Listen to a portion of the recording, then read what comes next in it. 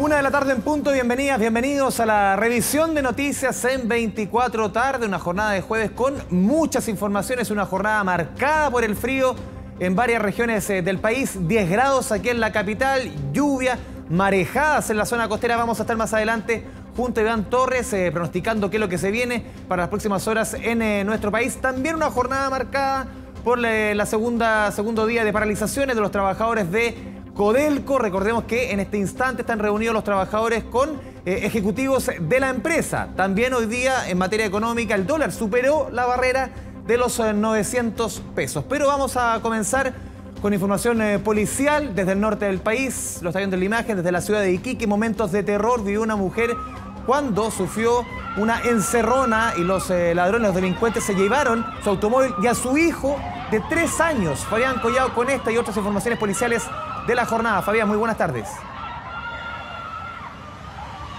Muy buenas tardes Andrés, ustedes están escuchando de fondo, son los gritos desgarradores eh, de esta madre que había sido víctima de la encerrona, pero no solo por eso, sino que eh, porque los delincuentes habían llevado a su hijo de tres años y once meses ahí en la ciudad de Iquique. Todos estos hechos ocurrieron en horas de la noche ayer eh, cuando ella se había bajado del vehículo para poder comprar en un bazar que se encuentra en el sector de Salvador Allende con Padre Hurtado en la región de Tarapacá. Habían otras dos mujeres al interior que estaban custodiando al niño, mientras que la madre de este estaba realizando esta compra en los alrededores de su domicilio cuando llegan al menos cuatro delincuentes, los cuales intimidan a las dos mujeres que estaban al interior eh, de este vehículo. Muy violentos estos antisociales, además las golpean eh, con el fin de apoderarse de este automóvil y es así como obtienen el vehículo y se dan a la fuga. Desesperada sale la madre desde el bazar, percatando de lo que había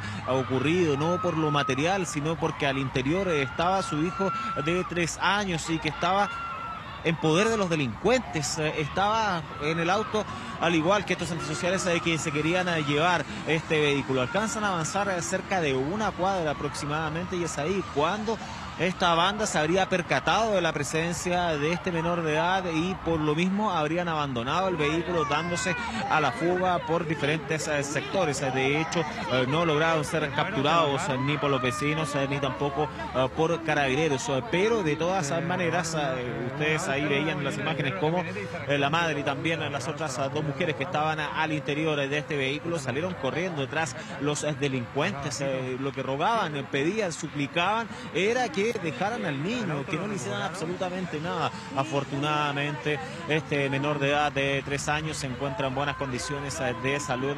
Poco se percató de lo que había eh, sucedido, pero hay una contención evidente que tiene que ser aplicada tanto eh, para él eh, como a su madre y también las otras dos personas que estaban bajo la custodia de este niño por algunos segundos y fueron víctimas de la delincuencia.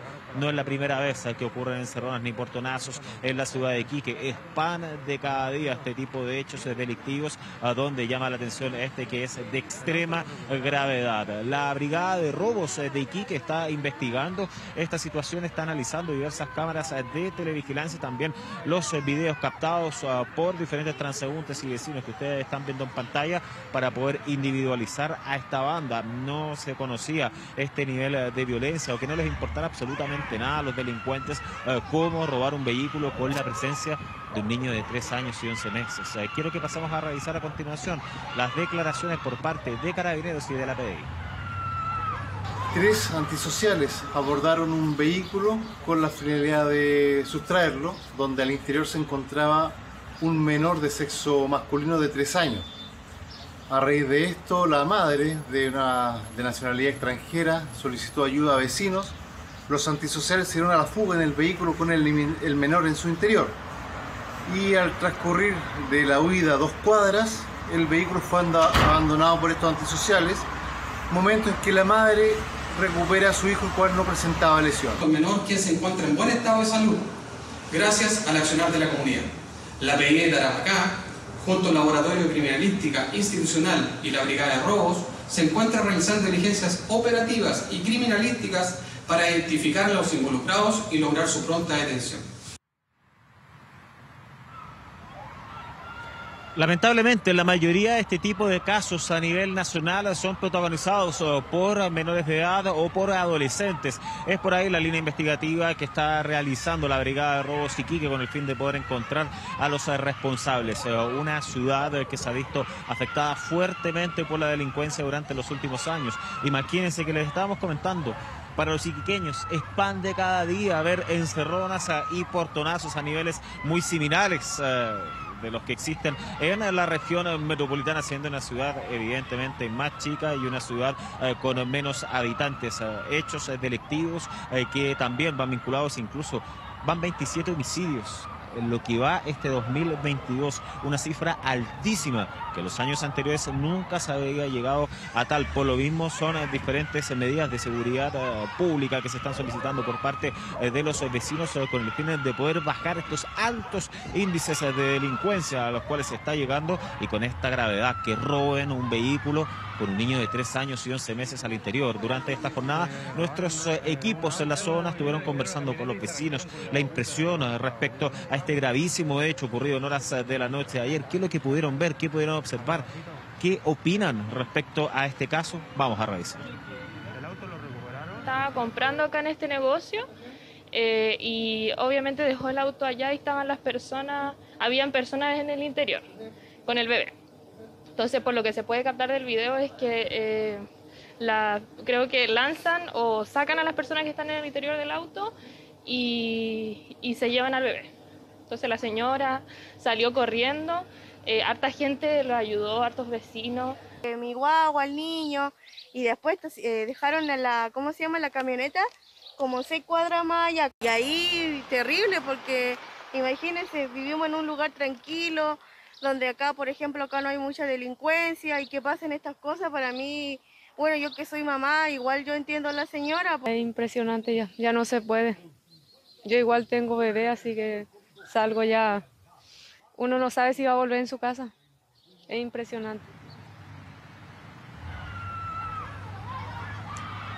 Toda una comunidad golpeada, los gritos de cargadores eh, de madres eh, que lo único que quería recuperar a su hijo, da lo mismo el vehículo, o sea, eso es un bien material y lógicamente se puede recuperar, pero un niño de tres años eh, que se haya visto envuelto eh, con esta banda de antisociales, absolutamente desesperante la situación, irreprochable por todo punto de vista, como ustedes también estaban escuchando a los vecinos eh, de la ciudad de Iquique. Fíjense que el robo de vehículos durante esta etapa del año ha subido cerca de un 110% y la tasa de recuperación ha disminuido. Entonces, además además de eso, que los robos con violencia, o sea, cuando los delincuentes intimidan y además golpean a las víctimas, ha ascendido bastante, según de todas estas cifras que nos estuvieron comentando desde la Asociación de, de las Aseguradoras de Chile. Vamos a revisar esas declaraciones.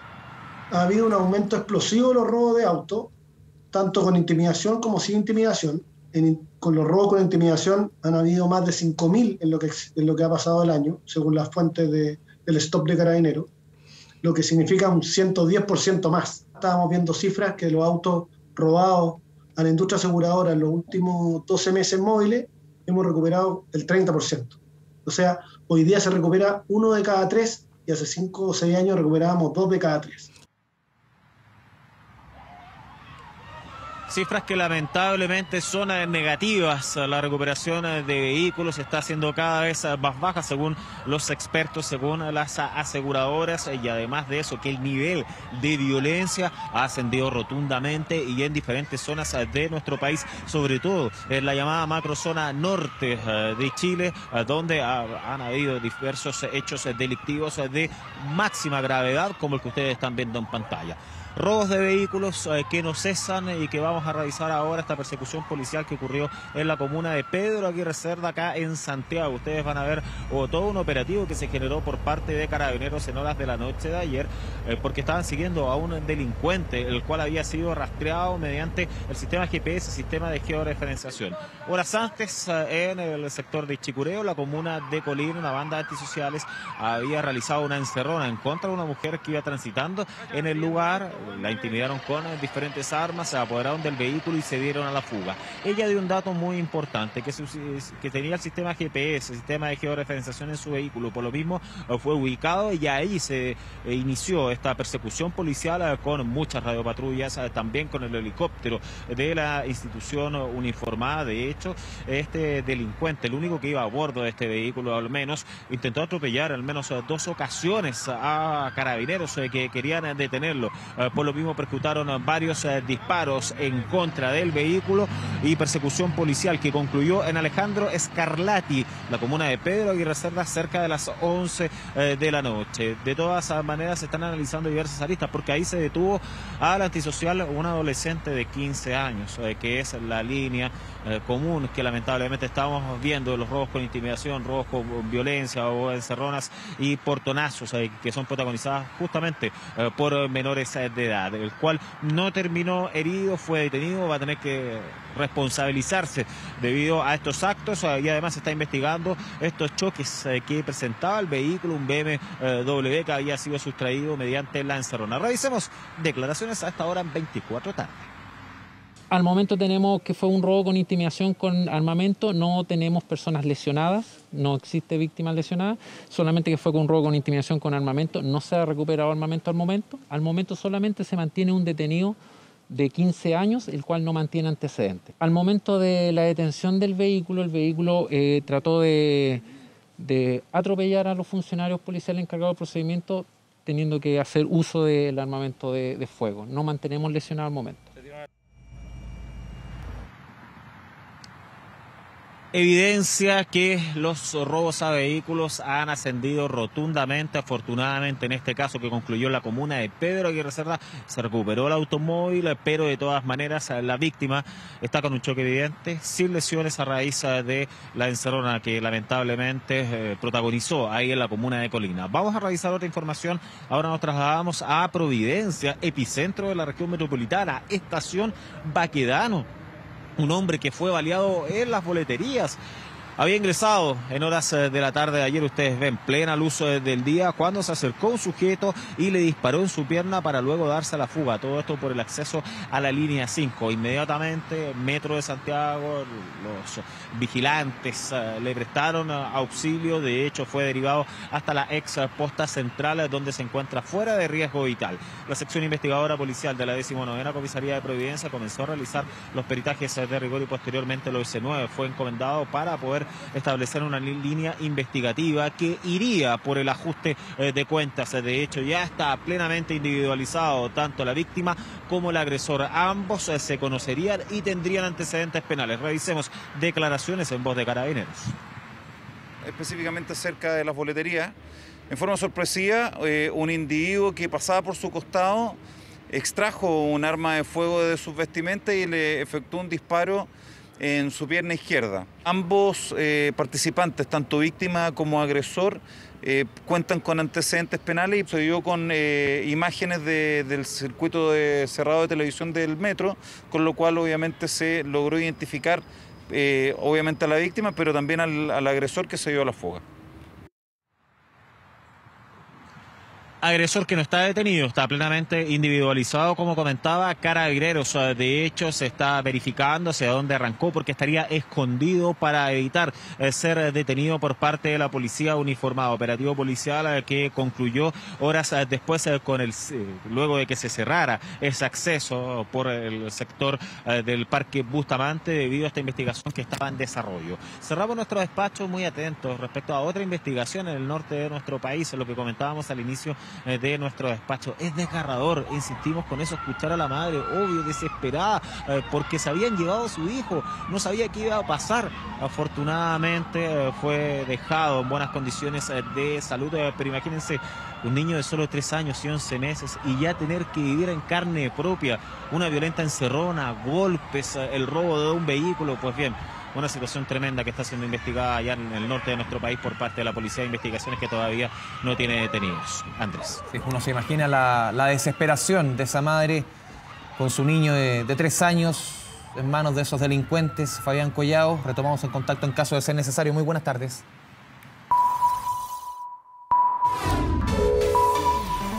Ahora Dos embarcaciones resultaron varadas en la playa Loncura de Quintero, producto de las intensas marejadas que se registraron en las últimas horas en la región de Valparaíso. Cayeron casi 30 milímetros de lluvia y se registraron vientos que llegaron hasta los 100 kilómetros por hora en el borde costero. Hans Christensen nos cuenta todo lo sucedido en las últimas horas. Hans, muy buenas tardes.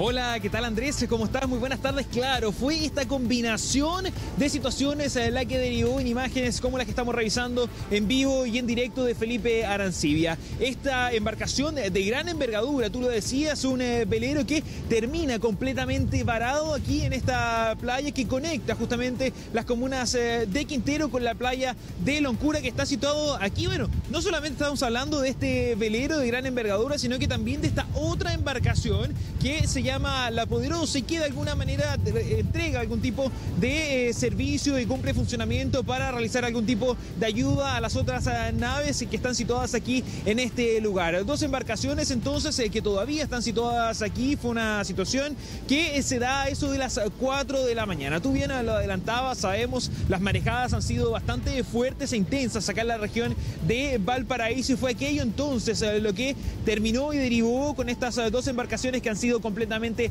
arrastradas hasta este lugar, además de las fuertes eh, ráfagas eh, de viento. ¿Cuál es el temor de las personas, eh, de los quinteranos que han decidido llegar hasta este lugar? Bueno, que estas embarcaciones, principalmente el velero, que es muchísimo más grande, ¿no? Con el paso de las horas se vaya enterrando. Ahora, por parte de la Armada, quien conversó con nosotros más temprano, nos señalaban que no se puede hacer ningún tipo de maniobra por el momento hasta que las condiciones climáticas no sean favorables para realizar nuevamente eh, el reflote, como se nos explicaban, de este velero de vuelta al mar. Una situación por lo poco y bajo curiosa, ¿no? Que ha despertado el interés de muchas personas que han llegado hasta este lugar. Lo hemos visto un constante de vehículos que llegan aquí y se estacionan, por ejemplo, y se sacan fotografías eh, con este velero que ustedes eh, lo pueden ver. Además, cuenta con bastante tecnología, incluso paneles solares instalados allí en el sector de la popa lo cual da cuenta ¿no? de la, gran inversión también nos decían aquí las personas que refleja este velero que finalmente termina varado aquí en la zona. Algo que de todas maneras nos decían, no es primera vez eh, que ocurre acá en las costas eh, de Quintero y principalmente en eh, Locura. Pudimos conversar con algunos quinteranos que llegaron hasta este lugar también, con el capitán de puerto. Escuchemos. Increíble, inmenso velero y, que está ahí, no va a salir fácilmente. Lo más peligroso es que yo le digo a mi marido, la balsa también tiene que haberse eh, llegado porque no la está maniobrando nadie, entonces está haciéndole más daño al, al yate, al velero. Imagino la cantidad de seguro que, hay por, por el yate y por la, por la gabarra, nada más que eso. Y lo siento por las personas que, que, son, que están encargados de, realizar o de, poner eh, toda su responsabilidad a cargo. Hoy día en la madrugada eh, ambas embarcaciones estaban fondeadas en la bahía y bueno, finalmente los fondeos se dieron ya por razones que tenemos que investigar y finalmente terminaron varadas acá en la, en la playa Loncura. Ambos armadores tienen que presentar un plan de reflotamiento, ya hay que ver las condiciones de seguridad, tanto para las personas que van a operar como también para el medio ambiente. Eh, y eso una vez que lo aprobemos, que lo estudiemos, que lo aprobemos, eh, se inicia el trabajo de, sacar estas embarcaciones. Lo importante es señalar también que afortunadamente el día de ayer no había personas a bordo de las embarcaciones y estas embarcaciones tampoco tenían combustible.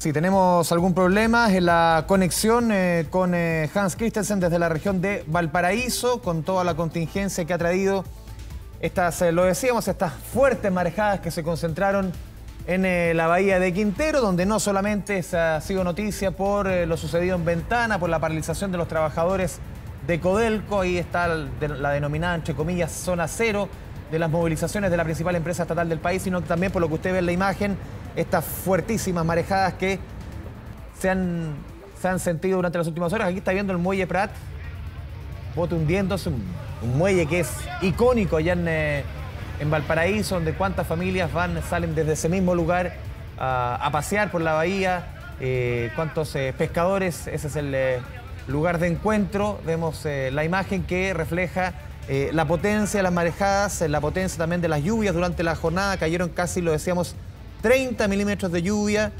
vientos hasta 100 kilómetros por hora en el borde costero y la imagen es elocuente ahí en el muelle Prat. Revisemos declaraciones recogidas en el lugar.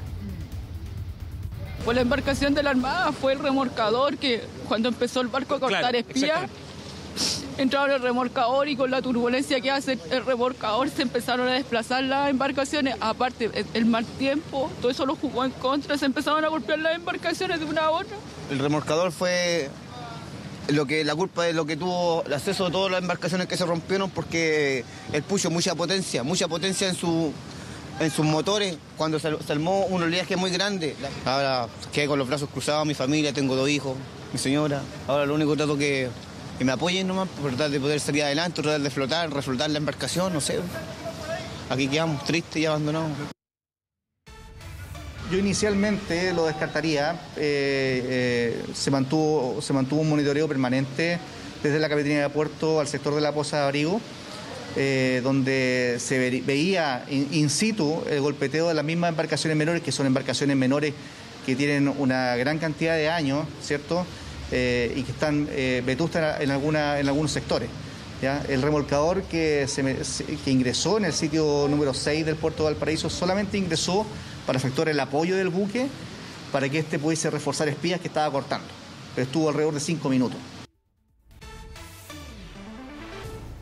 Vemos la imagen, eh, la afectación, las marejadas ahí en la región de Valparaíso, también el viento en eh, Viña del Mar, lo decíamos, por ejemplo, en eh, sectores como Gómez Carreño se sintió con mucha fuerza el viento ayer en la noche, también en otros puntos de, de Valparaíso. La imagen que usted ve es, es Viña del Mar.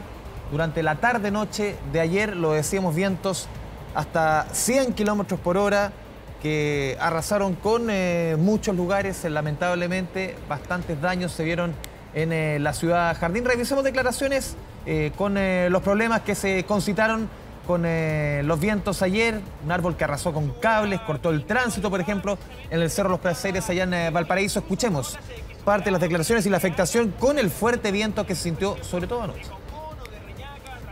Salió a ver aquí este sistema frontal que estuvo bien fuerte durante la noche. Sí, es que me encanta, me encanta ver el mar en todo su, en todo su esplendor, ya sea calmo o así como hasta ahora. Y la verdad que hay pocas posibilidades de venir acá porque aquí siempre cierran.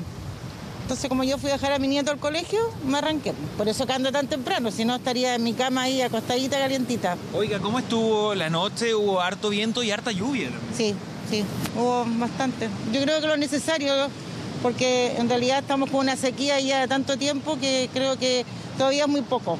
Mientras más llueva, creo que es mejor. También lo que vemos en imagen es eh, la caída de un árbol ahí en el Cerro Los Placeres, prácticamente en el límite entre Cerro Los Placeres y, Esperanza, esto en Valparaíso.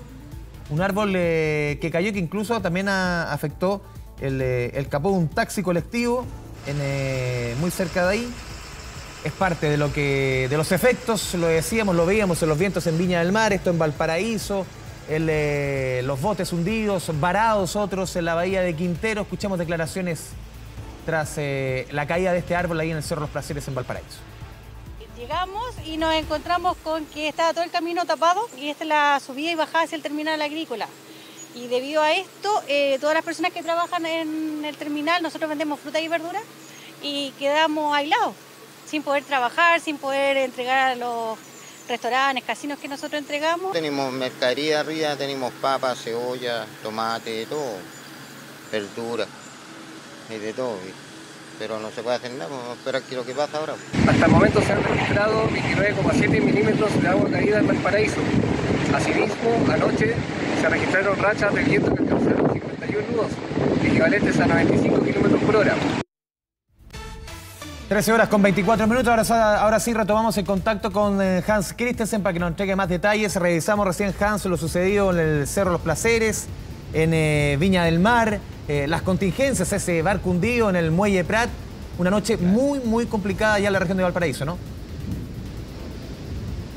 Una noche, madrugada también muy compleja en este repaso de lo que ha sido todas las consecuencias que ha dejado este sistema frontal acá en la región eh, de Valparaíso. Comenzábamos eh, contándoles eh, lo ocurrido acá en la comuna de Quintero que hoy día hace noticia. Además, por este velero que está a mi espalda y que finalmente termina varado con este artefacto naval que sirve también para prestar ayuda a otras embarcaciones. Eso, además de estas lanchas que estamos tan acostumbrados, tan tradicionales, ¿no? Que están allí en el Muelle Prat en Valparaíso hizo que producto de, eh, el alto nivel y potencia de las marejadas eh, durante la noche, como lo escuchábamos también allí en eh, las declaraciones, terminan golpeando unas con otras y finalmente no hay dos que terminan completamente destruidas, que se unen allí en ese lugar, además de otros botes que les sirven a las personas que allí trabajan y que finalmente hoy no van a contar con su implemento, principal fuente de trabajo. Posteriormente veíamos lo que ocurría con este árbol que además eh,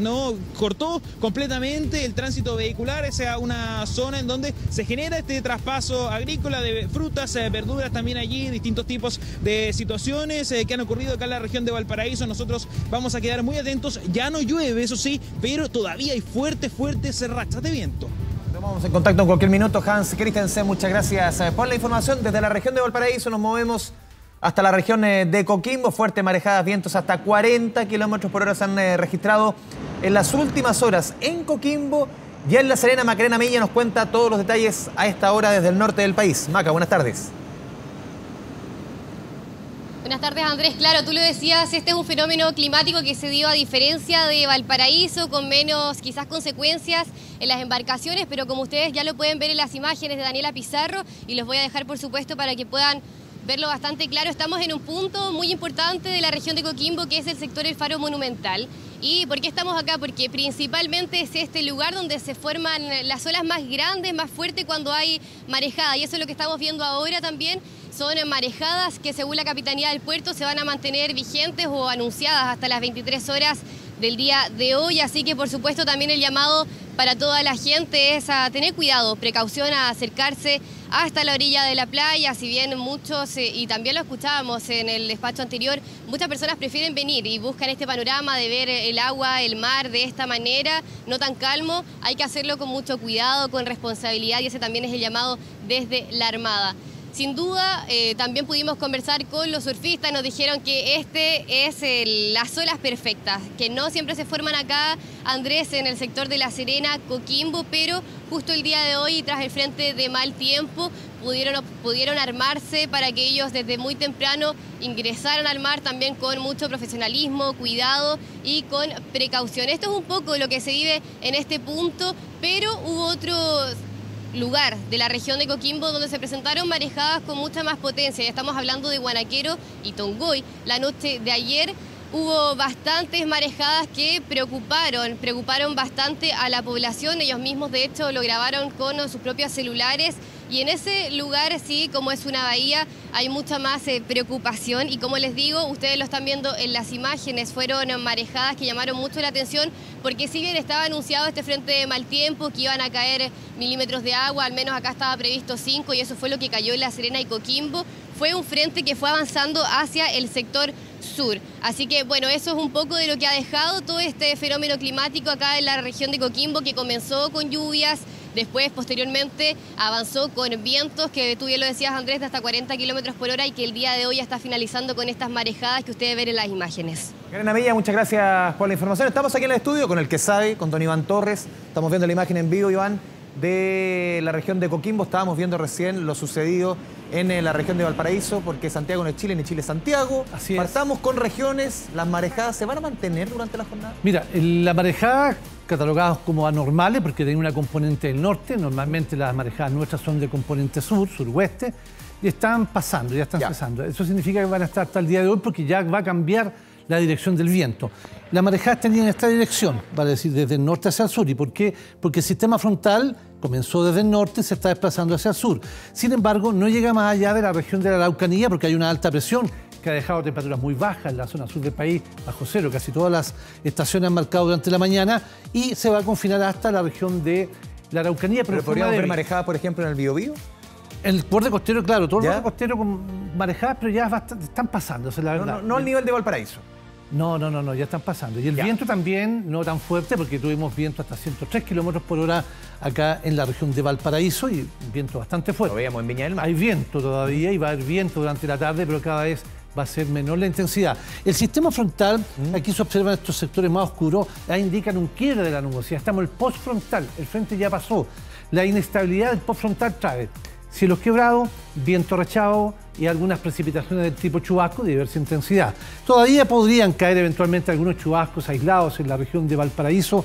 También acá en la región metropolitana vamos a tener precipitaciones, pero el sector poniente, como por ejemplo Melipilla, Curacaví, en forma ocasional, predominantemente nublado. Continúa la precipitación y la masa nubosa está fuertemente afectando Ñuble, Maule, Biobío y por supuesto también acá, detrás del sistema, se observan nubes de desarrollo vertical. ¿Qué significa eso? Que podría en la tarde tener algunas tormentas eléctricas el borde costero de la región del Maule, Ñuble y Biobío. Señor Torres, llevamos 12,5 milímetros hasta ahora. 12,5. Yo creo que ¿Cuánto- vamos a cuánto estar- queda? Yo creo que no queda más allá de 6 milímetros. Ya. 5 milímetros. Se van a extender más o menos hasta. Yo creo que después de las 4 o 5... Estamos hablando de la región metropolitana. Sí, después de las 4 o 5 de la tarde ya la precipitación va a ser más escasa en el sector poniente y por ende va a quedar solamente concentrado en el sector oriente. Pero siempre ya son chubascos, como está ahora. En algunas partes está con precipitación y en otras no. Ese es el chubasco. No tiene nada que ver la intensidad. El chubasco es una precipitación que se da en algunos sectores y en otros no. Hay chubascos en la capital, estamos con el postfrontal, la temperatura máxima es baja, no creo que pase de los 11 grados, por lo menos acá en el centro de Santiago, y ahí está, ¿no es cierto?, eh, las temperaturas por cada una de estas comunas. En San José Maipo 9 grados, en Melipilla 11 grados, va a estar predominantemente nublado con algunos chubascos ocasionales, al igual que Curacaví, pero en general entre los 9 y los 12 grados es la temperatura para el día de hoy acá en la región metropolitana. ¿Y los próximos días? Los próximos días no se ve por el momento ningún sistema frontal, pero hay que estar atento a lo que podría eventualmente pasar a comienzo de la próxima semana. ¿Qué podría pasar? Podría llegar un nuevo sistema frontal, pero hay que ver cómo viene, cuál es su energía, cuál es su potencialidad para dejar algunas precipitaciones. Por el momento, nubes en la capital, a contar de este viernes y hasta el próximo martes. Temperaturas mínimas bastante bajas, las máximas mezquinas, no más allá de 15 grados. Por último, tú nos explicabas, Iván, eh, el tema de la- el- las marejadas hasta la región de la Araucanía. ¿Qué pasa en el sector ya interior, podríamos decir, desde la zona centro-sur del país? Mira, la zona centro-sur con viento, eh, yo diría moderado, a ratos fuerte. Chillán hasta hace poco tenía más de 50 kilómetros. Por lo tanto, el viento se va a mantener. Mientras esté esta área de bajas presiones, el viento se mantiene. Mientras esté esta nubosidad, desarrollo vertical, que se llaman cumulonimbo, está la posibilidad latente de algunas tormentas justamente en el tramo Maule, Ñuble, Biobío. Don Iván Torres, como siempre, muchas gracias. Nos vemos. Muy buenas tardes. Continuamos con otras informaciones de la jornada. A esta hora continúa la reunión entre trabajadores de Codelco y representantes de la empresa estatal luego del inicio del paro nacional a causa del cierre de la Fundación Ventanas. Pamela Araya con todos los detalles de esta crucial reunión que se va a mantener también durante los próximos minutos, Pame, y en la tarde se espera reuniones con el gobierno, ¿no? Buenas tardes. Exacto.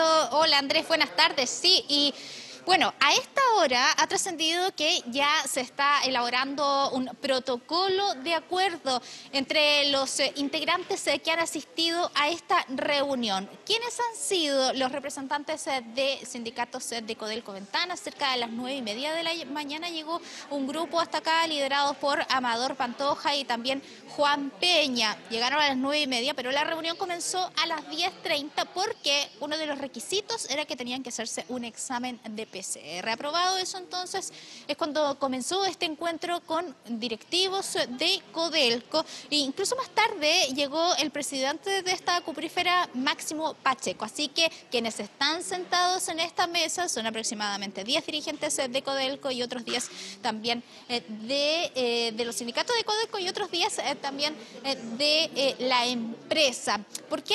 Porque ya tú lo adelantabas, acá hubo un paro que se desarrolló ayer y que eh, fue generado después de hasta este anuncio que fue bien sorpresivo para todos los trabajadores el viernes pasado con este cierre de la planta de fundición de ventanas, eh, que de acuerdo han dicho en el gobierno estaría afectando a un poco más eh, de eh, 300 trabajadores, pero hay un punto, el plan de cierre que tiene el gobierno es, y Codelco, claro, es de unos cinco años, así que ahí eh, hay varias materias que se tienen que tratar.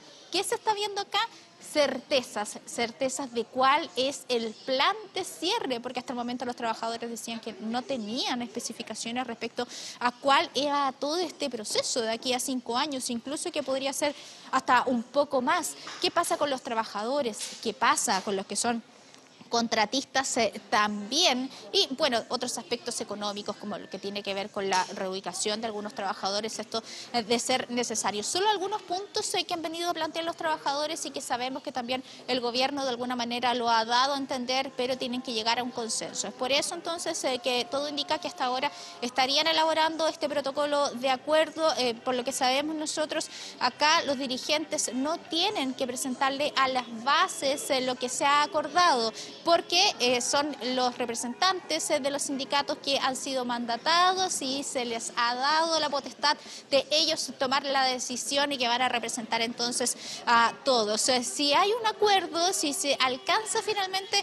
elaborar este protocolo, ya podría incluso terminar esta paralización que estuvo toda la jornada de ayer, que ya lo veían ustedes en imágenes, que incluso hubo altercados allí en el teniente cuando se detuvo a algunos trabajadores y que de hecho hoy también ha, habido una especie de gesto de, eh, de, poner, o no de poner la movilización, sino que de alguna manera bajar la intensidad. Bueno, así entonces es como en este marco se ha desarrollado este encuentro. Tú decías, Andrés, es crucial, porque claro, acá es Codelco con los trabajadores, crucial porque puede determinar el término del paro y crucial también eh, porque de aquí en adelante podría haber ya eh, una relación con los trabajadores e incluso que ellos pudieran sentarse en una especie de mesa de trabajo. Lo que ocurre en la tarde es en el Ministerio de, Minería. Ahí es el gobierno, también representantes de Codelco, también de NAMI, con algunos de los dirigentes que están acá y otros. ¿Por qué la NAMI? Porque otro de los temas importantes que está relacionado con el cierre de la planta de fundición de materiales de ventanas es que eh, acá la planta está obligada por ley a procesar materiales de eh, pequeños y medianas, eh, pequeños y medianos mineros, pequeños y medianas empresas mineras. Y para cerrar también esta planta, bueno, esta ley tiene que tener una modificación o se tendrá que derogar. Lo cierto es que de eso también depende, porque hoy eh, Ventanas tiene la obligación eh, de procesar ese material, un tema que ha surgido, por supuesto, eh, motivado por la protección del medio ambiente que ha dicho el presidente Gabriel Boric. Así que en cualquier minuto pueden salir pero también puede ser que se extienda y podría empalmarse con la reunión del gobierno. Bueno, nosotros le vamos a estar avisando. Pamela Raya, retomamos el contacto entonces en cualquier eh, instante. Muy buenas tardes. Vamos desde el centro de Santiago hasta el norte del país en medio del paro nacional de los trabajadores de Codel con la división de Chuquicamata. En la región de Antofagasta hoy comenzaron a llegar buses con trabajadores a la espera del fin de la reunión entre los dirigentes. Rubén Salinas, desde el lugar, nos informa más. Rubén, buenas tardes. ¿Qué tal Andrés? ¿Cómo estás? Eh, buenas tardes, claro. Eh, tal como tú lo dices, es una jornada de paralización que continúa. Eso sí, ya llegó una gran cantidad de buses con trabajadores, como nos muestra la cámara de Felipe Bravo, imagen en vivo de lo que está ocurriendo aquí en la puerta 2 del mineral, puerta de acceso principal a la faena minera. Hace ya aproximadamente una hora y media comenzaron a llegar los buses con trabajadores hasta este lugar, a la espera, por supuesto, del fin de la reunión que se está sosteniendo allá en la capital. Según los antecedentes que nos han entregado algunos dirigentes sindicales, es que no van a deponer el paro, no van a permitir el ingreso de buses hasta que no tengan una voz oficial de lo que está ocurriendo en la reunión allá en la capital. Mientras tanto, los trabajadores esperan eh, qué va a ocurrir, esperan aquí afuera, eh, bajándose un poco de los buses para distender un poco el ambiente en esta jornada que ha sido bastante extenuante, porque estos mismos buses estaban ubicados en Calama, cerca del edificio corporativo de Codelco, esperando novedades respecto de esta movilización. Esto es lo que ocurre a esta hora aquí en Chuquicamata, pero también en el Teniente. Durante la madrugada se registraron bloqueos, bloqueos de las, de las rutas, eh, donde eh, trabajadores impedían, por supuesto, el tránsito normal ahí en la carretera del eh, cobre. Eso sí, también durante la mañana se confirmó que un grupo de trabajadores se bajó del paro por algunas discrepancias con lo que estaba ocurriendo, permitiendo, por supuesto, el ingreso de algunas personas al eh, mineral. Eh, seguimos, por supuesto, con lo que está ocurriendo aquí en Chuquicamata. Vemos el acceso principal. Si bien no se ven barricadas ni eh, obstáculos para el ingreso de los buses, lo que nos indicaron es que al interior, en las rutas internas del mineral, es donde los dirigentes sindicales eh, tienen efectuado el bloqueo, por lo que los buses siguen a la espera de lo que está eh, pasando en Santiago. Nos confirman que no se va a mover ningún bus hasta que eh, no tengan respuestas de lo que está ocurriendo allá en Santiago. Los invito a escuchar las siguientes declaraciones. Bien, seguimos, seguimos con las imágenes en vivo entonces. Hay trabajadores, por supuesto, esperando el ingreso a lo que es el mineral de Chuquicamata. Todo será clave en lo que ocurra en esta reunión que se está sosteniendo en Santiago y por supuesto también la reunión que se eh, llevará a cabo a las 15 horas en La Moneda Andrés. Seguimos en contacto desde la región de Antofagasta, Rubén Salines, con todo lo que está sucediendo en las divisiones más importantes de Codelco a lo largo del país. Está revisando también información económica del, eh, del, momento. Después lo vamos a estar profundizando en tu bolsillo. El dólar está llegando ya a los 905 pesos. Hemos visto también una fuerte caída por segunda jornada consecutiva del precio del cobre. Generalmente debiese ser al revés. Cuando hay movilizaciones de este tipo, debiese subir el precio del cobre en, eh, en, el mundo, pero está subiendo completamente lo contrario por otras razones. Ni siquiera un paro de Codelco está significando un alza del precio del cobre. Vamos a estar más adelante con ello. Vamos a seguir con información eh, sanitaria. El Ministerio de Salud hoy reportó 39 fallecidos por COVID-19 y 8.038 contagios en las últimas 24 horas. Se informó también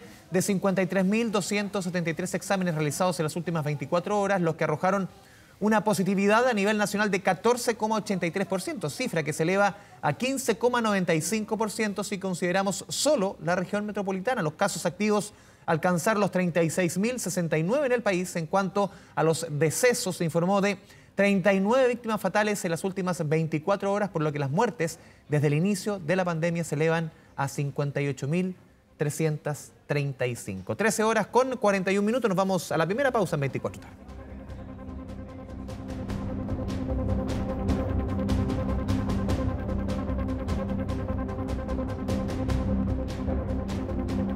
Una de la tarde con 46 eh, minutos, volvemos con las informaciones a 24 tarde. Tras un positivo balance del estado de excepción en la macrozona sur, el eh, Comité de Seguridad del Gobierno sugirió al presidente de la República, Gabriel Boric, pedir la prórroga de la medida al Congreso. Marian Basso con todos los detalles. Mari, buenas tardes.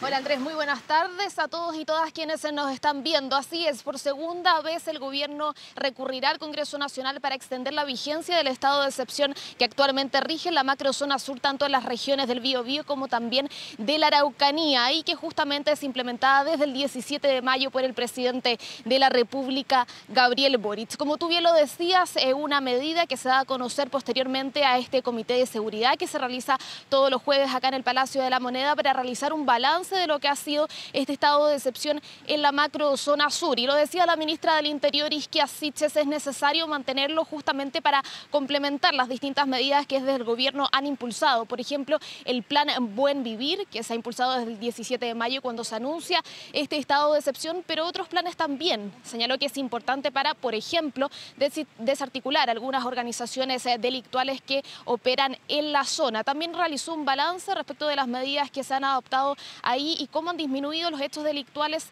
en las últimas semanas. Señaló que se ha reducido en un 85% la quema de los camiones, también en un 65% el ataque contra vehículos y una reducción del 57% en las en el uso de las armas eh, de fuego. Lo decía entonces la ministra del Interior, se va a solicitar esta prórroga del estado de excepción y se van a trasladar el próximo miércoles 29 de junio hacia el Congreso Nacional justamente para solicitarle a los parlamentarios y parlamentarias que apoyen esta medida y que se prorrogue una vez más el estado de excepción. Lo decía también a la titular de Interior que se está realizando u organizando una visita a la zona de Arauco con su presencia, también con la de la ministra de Defensa, Maya Fernández se le consultaba si es que está programada una visita del presidente de la República, Gabriel Boric, a la zona y señalaron que están viendo cuál es el mejor momento justamente para concretarlo. Pasamos a escuchar las declaraciones de la ministra del Interior respecto de esta medida una reducción importante en torno a quemas de camiones de más de un 85%,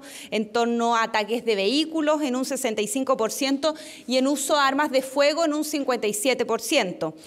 En conjunto hemos eh, resuelto recomendarle al presidente de la República volver a prorrogar el estado de excepción en la zona y por lo mismo esperamos el próximo miércoles 29 de junio están en el Parlamento dando cuenta a a los señores y señoras parlamentarias de los detalles de estas cifras, como también la necesidad desde el punto de vista técnico y en materia de seguridad de seguir contando con esta medida complementaria en la zona.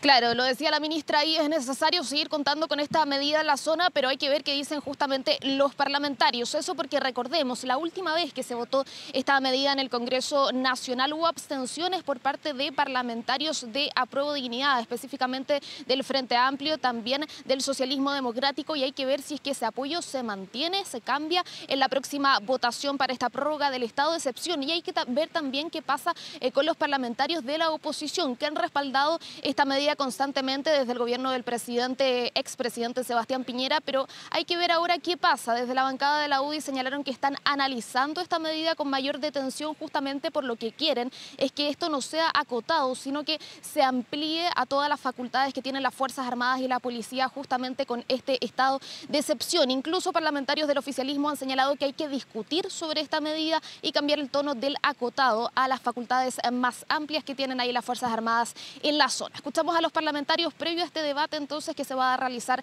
en el Parlamento. Si el gobierno no tiene los votos de su propia coalición en el Parlamento, ¿por qué la oposición debiera prestarle los votos para un estado de excepción restringido, con freno de mano, acotado, que no llega a salvar a todas las personas de la delincuencia, de la violencia y de los ataques terroristas? Muchos creemos que es la oportunidad de abrir el debate sobre eliminar el carácter acotado y pasar a un estado de excepción con plenitud, donde de manera eficiente y efectiva el Estado, a través de las Fuerzas Armadas bien coordinadas, pueda colaborar para entregar mayores condiciones de seguridad a la población que allí habita. Sí, mayoría simple se requiere en el Congreso Nacional para que esta medida finalmente se pueda extender eh, por los próximos días, culminando entonces el último día de este mes de junio. En un balance donde la ministra del Interior también se refirió a los hechos, ustedes recordarán en Cura Nilahue, donde una forestal denunció que las Fuerzas Armadas no llegaron a tiempo cuando se denunció el ataque incendiario a maquinarias. Bueno, la ministra del Interior señaló que la información no era del todo completa en ese caso, que claramente contrastaba lo dicho por la forestal con las informaciones entregadas por las Fuerzas Armadas y las policías y que claramente tras eso se mejoraron los protocolos, que los protocolos ya están activos y que se ha mejorado el diálogo justamente entre las distintas policías y las Fuerzas Armadas para tener un menor tiempo de reacción ante las denuncias. Eso por acá Andrés Vial en el Palacio eh, de la Moneda, claramente muy atentos a lo que va a pasar en este debate que se va a dar la próxima semana en el Congreso Nacional para saber si es que están los apoyos justamente para continuar continuar con este estado de excepción en la macrozona sur. Marian Basso, muchas gracias por la información desde el Palacio de la Moneda. Buenas tardes. Buenas tardes.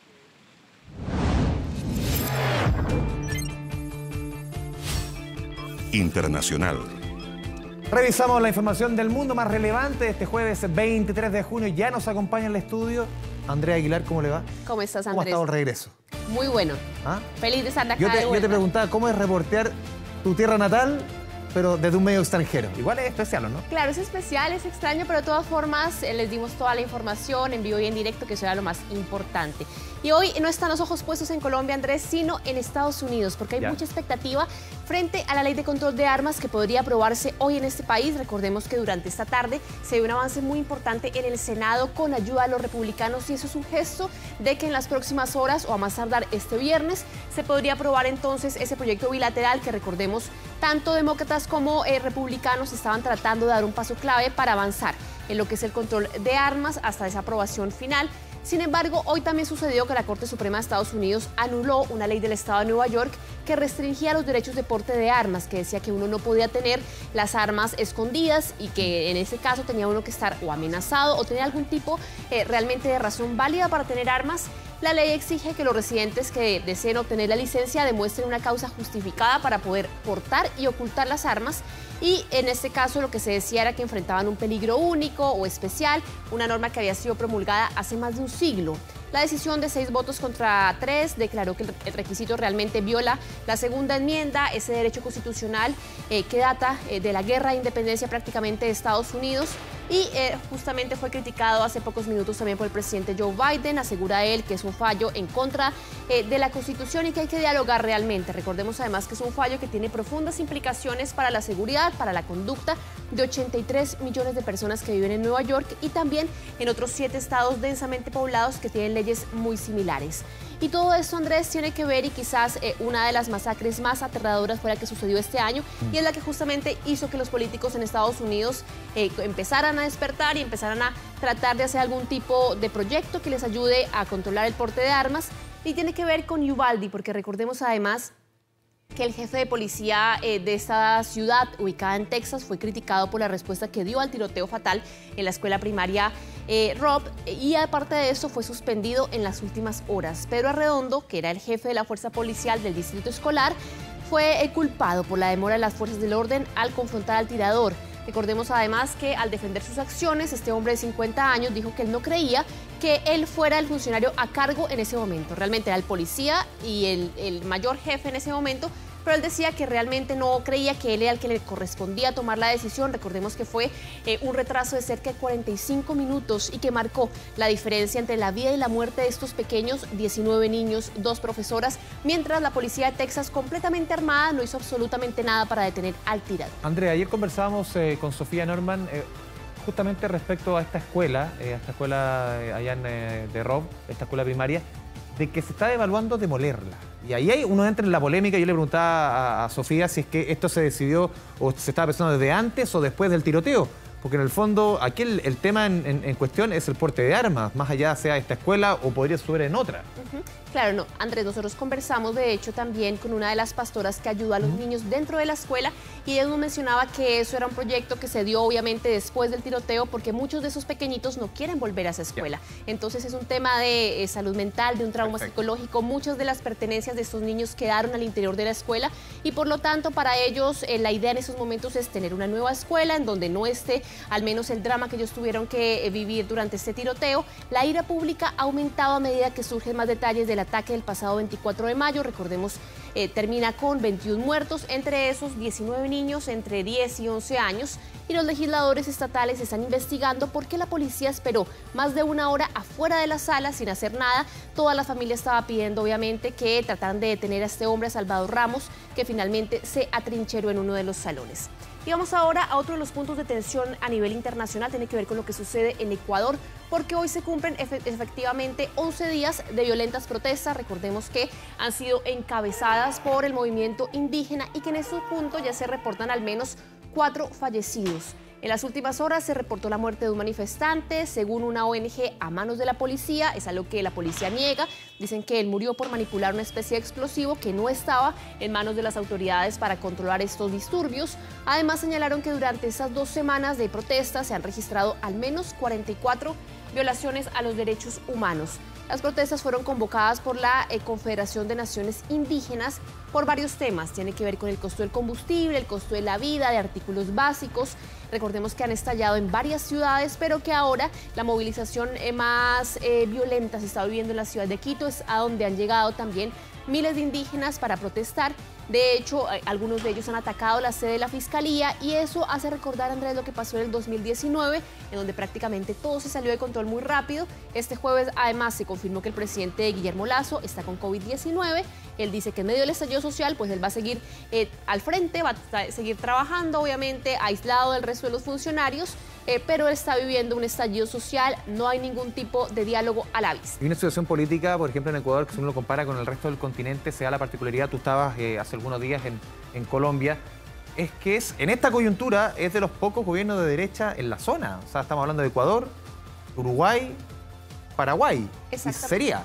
El resto de los eh, gobiernos, incluido el de Colombia, que por primera vez tiene un presidente de izquierda, y es justamente en Ecuador, recordemos que ellos tuvieron el presidente de izquierda y de centro izquierda, pero tuvieron a Rafael Correa, luego tuvieron a Lenín Moreno, pero luego dieron un viraje hacia la derecha con eh, el presidente Guillermo Lazo, que no ha podido tender la mano para realmente algún tipo de diálogo con los indígenas, y, y, particularmente con el líder indígena Leonidas Isa, que recordemos además fue detenido y eso también agudizó la violencia y las protestas, por lo cual se espera que entonces pueda continuar esas manifestaciones durante los próximos se me olvidaba Bolsonaro, obviamente, pero hay elecciones en Brasil en, eh, octubre. que podría dar un poco el, tema de que vuelva Lula hablan alto. Que es muy probable, según las encuestas, Andrés, que entre Lula y Bolsonaro pueda ser Lula entonces nuevamente presidente.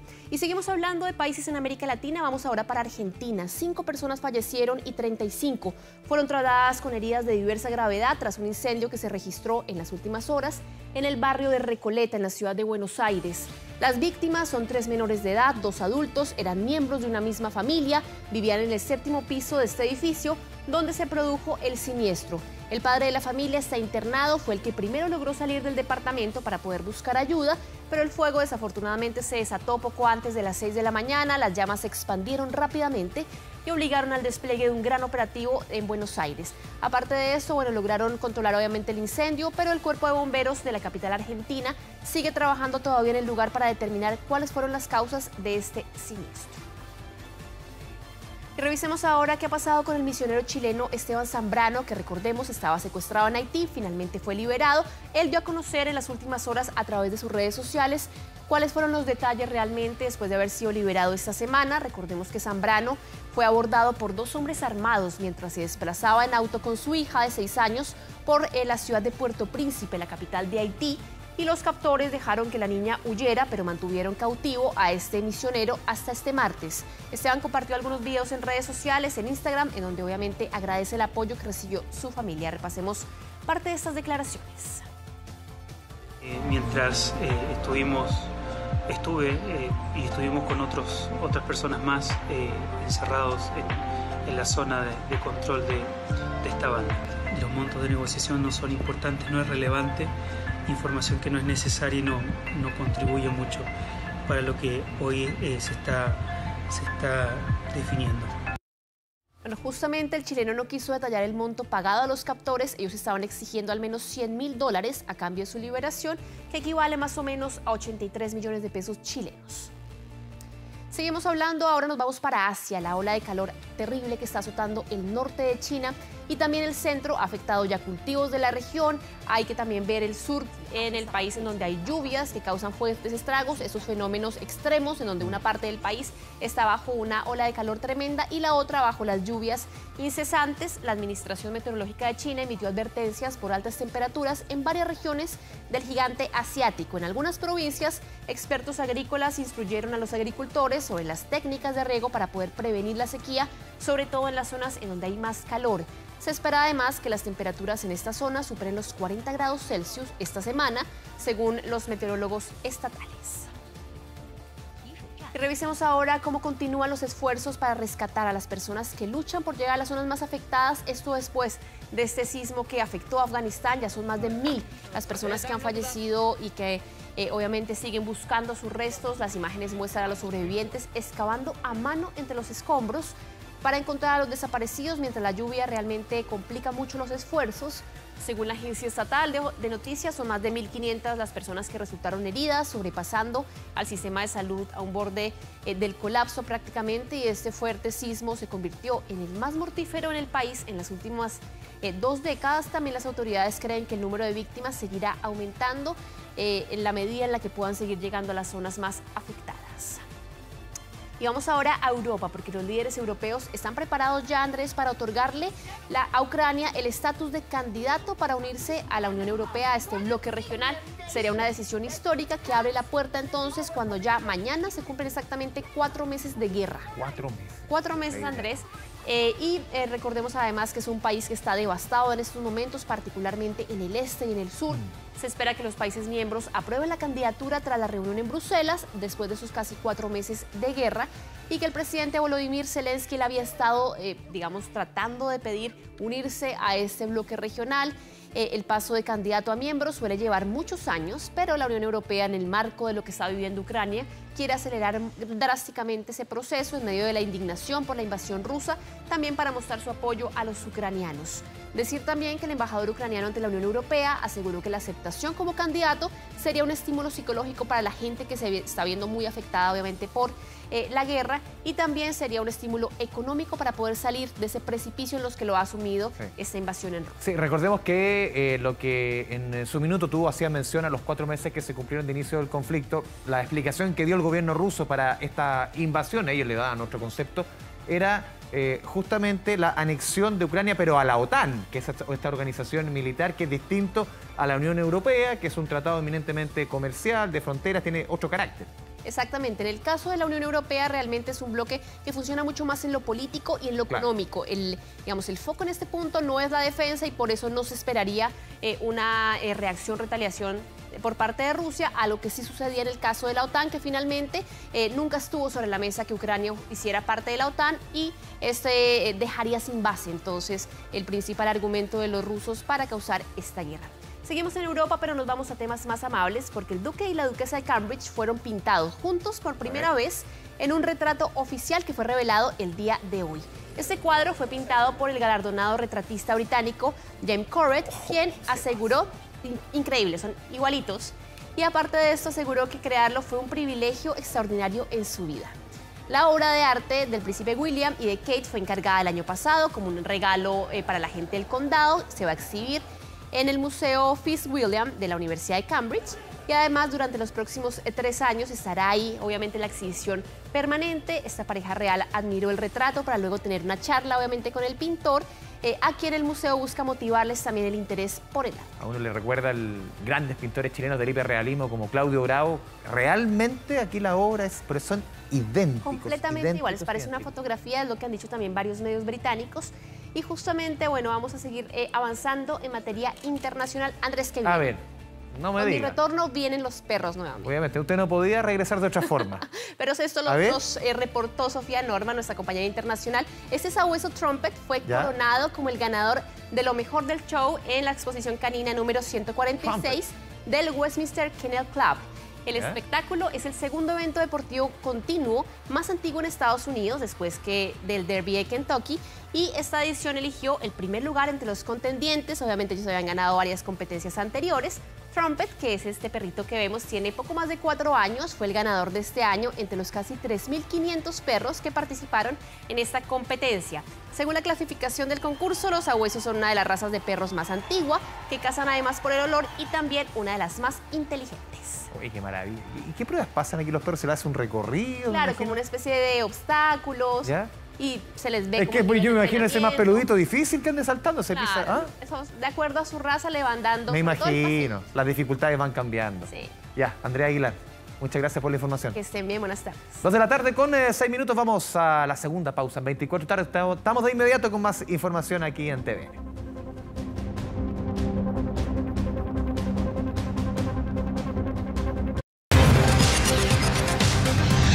Convención Constitucional.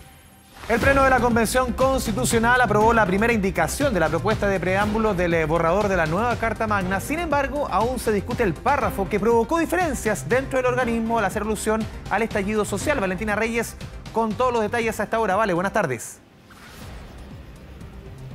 Hola, buenas tardes Andrés. Ya hay preámbulo de esta propuesta constitucional. Es solo un par. Fueron cuatro los que se sometieron a votación durante esta mañana en el marco de las últimas votaciones de la Convención Constitucional. Les contamos qué quedó. Es un texto bastante corto y cuál es el objetivo de preámbulo, dar el vamos a la propuesta constitucional. ¿Qué es lo que dice? Nosotras y nosotros, el pueblo de Chile, conformado por diversas naciones, nos otorgamos libremente esta constitución acordada en un proceso participativo, paritario y democrático. Teníamos una gráfica preparada respecto a lo que se aprobó como preámbulo. Eh, hablábamos de discusión y sí, porque otro párrafo que hablaba del estallido social, los dolores del pasado y la fuerza de la juventud como motor de este proceso constituyente fue rechazado y eso generó cierta tensión al interior del Pleno de la Convención Constitucional en estas últimas jornadas de trabajo. Queremos invitarlos e invitarlas a escuchar parte de las voces de la Convención Constitucional a Rosa Catrileo, representante del pueblo mapuche, y también a Marcos Barraza del Partido Comunista, quienes hablaron luego de que se concretara esta votación, en que solo un párrafo queda como preámbulo del texto. Revisemos. pedí precisamente apoyar el párrafo 1 porque da cuenta de la realidad de Chile. Hay un pueblo chileno que está conformado por diversas naciones que estuvimos todo este tiempo presentes en Chile, no es que aparecimos ahora, solamente que estábamos, cierto que no nos querían ver, pero ahora hemos llegado, como dije ahí, con todos los colores para dar vida a este país, a este nuevo futuro de país que tenemos y creo que es muy significativo que se haya aprobado ese párrafo en particular. A mí me parece que el párrafo aprobado es un párrafo omnicomprensivo, refleja correctamente el mandato popular, eh, el carácter soberano del pueblo de Chile y ciertamente que los rasgos democráticos participativos que tiene este proceso constituyente.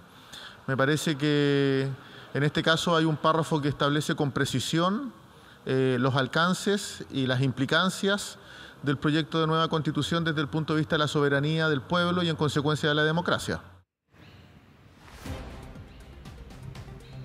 El preámbulo no es una norma, sino que el objetivo era introducir al texto constitucional dando cierto contexto. Y claro, lo que no se aprobó era relativo al estallido social, como lo decíamos, y los dolores del pasado, un punto que no generaba consenso al interior de la Convención Constitucional. Vamos a revisar también lo que dice Vamos por Chile respecto a lo que se aprobó y a lo que fue este proceso de escribir un preámbulo para el texto. Escuchemos a Ruth Hurtado y también Martina Rau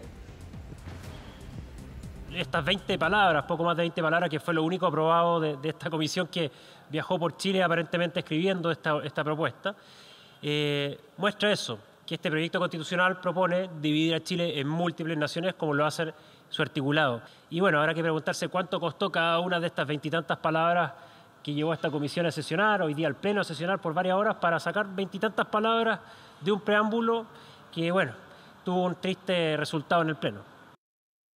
Hoy día el, párrafo aprobado es un resumen perfecto del contenido de la constitución separatista indigenista que lo único que busca es dividir a los chilenos por raza, por etnia, por eh, distintos grupos identitarios y finalmente este fue el único párrafo aprobado, así que es copia fiel del contenido constitucional que se entrega a la ciudadanía.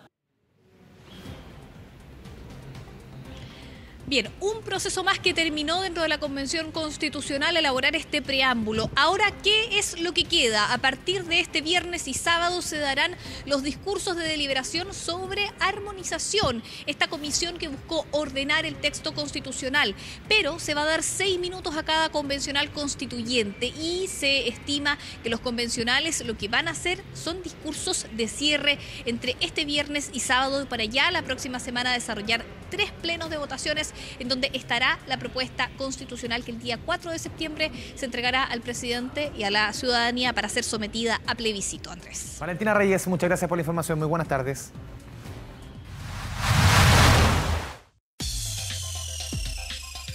Vamos a revisar información de la economía que tiene o trae como consecuencia de la situación que estamos viendo en la Corporación del Cobre, en Codelco, el paro de los trabajadores, eh, las medidas que ha tomado el gobierno respecto a la fundición Ventanas, lo que ha sucedido con el precio del cobre y también, ojo, con el precio del dólar que llegó hoy día, superó, estaba cerrando prácticamente 900 5 pesos esta jornada, un alza de casi 17 pesos respecto al día de ayer, récord absoluto. Nunca en el mercado intercambiario local había superado el dólar los 900 pesos. Vamos a revisar la primera gráfica que hemos preparado. Primero, ¿qué sucedió con nuestra principal exportación, el cobre, en la Bolsa de Metales de Londres? Nueva jornada de caída, hoy día se cotizó en 3 dólares con 89 centavos la libra. Ayer había llegado a 3.95, cae 6 eh, centavos. Esto es más o menos de acuerdo a la estadística. Lo vemos en la segunda estación de nuestra gráfica, señor director. Si lo podemos desplegar,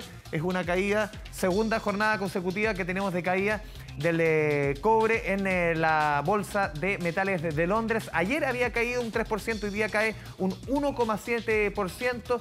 Prácticamente tenemos que en las últimas eh, dos jornadas ha caído casi un 5%. Este es el precio más bajo ahí. Ahí está, 1,73% es la caída en la jornada de hoy. Es el precio más bajo desde el 18 de febrero del 2021. Tenemos que retroceder 16 meses para ver una caída del, eh, del, cobre de este nivel. Vamos con la siguiente gráfica y tomar un poquito en consideración qué es lo que ha sucedido en el mes de junio, un mes muy, muy negativo, no solamente por lo que ha sucedido con el, eh, tema de nuestro país de Codelco para el mercado internacional del cobre, sino que también por situaciones internacionales que les vamos a explicar. El 6 de junio el eh, cobre estaba llegando a 4 dólares con 40 centavos la libra. Estamos hablando de dos semanas atrás.